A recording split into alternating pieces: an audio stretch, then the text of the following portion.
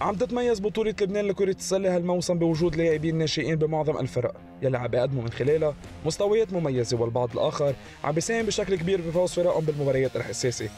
بدون شك الجدية والشغف والحماس عم بيلعبوا دور كبير بهالموضوع ولكن الأهم إنه هاللاعبين عم بيكونوا على قدر الثقة المعطاة لهم من المدربين.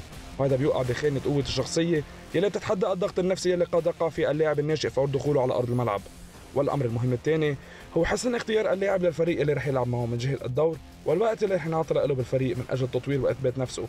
فمثلا برز السنة من نادي المريمين الشانفيل جد نصر من نادي بيروت كارل قزح من نادي الحكمة رودي حاج موسى من نادي الهوب سراء صباغ وغيرهم من الأسماء الكثيرة ولكن الضروري التركيز عليه مع ثقل هالمواهب إنه تضل الخسة مضبوطة.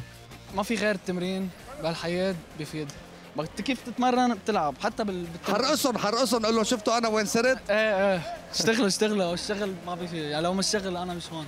مستقبل كرة السلة اللبنانية بألف خير. طالما القايمين على اللعبة مستمرين بتنظيم بطولات الفئات العمرية يلي عم تظهر الخامات يوميا.